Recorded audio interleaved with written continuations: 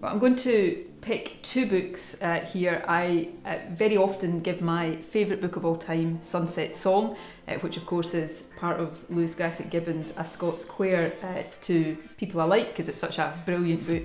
But recently I came across this book and I've started to give this as a present. It's non-fiction, it's called A Novel Cure and this is an A to Z of every experience you can think of in life and it then recommends books that might help you through that experience. So it's absolutely fantastic and I would recommend it highly.